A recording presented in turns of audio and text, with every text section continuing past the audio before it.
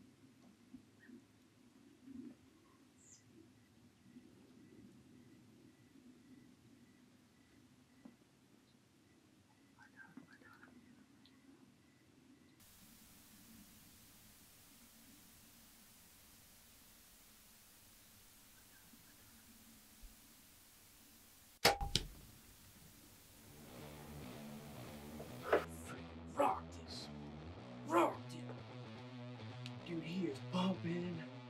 Pumping, baby. Boom! Woo!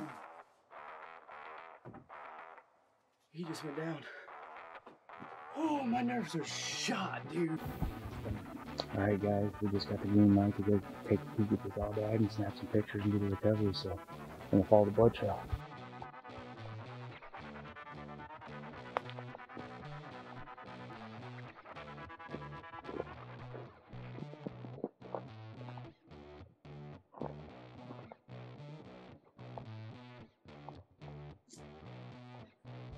He was just leaking.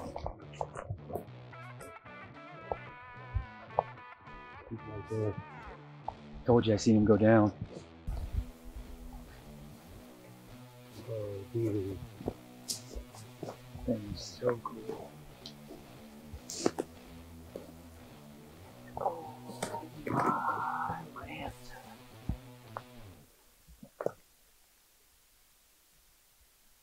Dude. This is a bucket list thing for sure. Oh man, I'm so pumped. Dude, this thing is so cool. I can't believe this.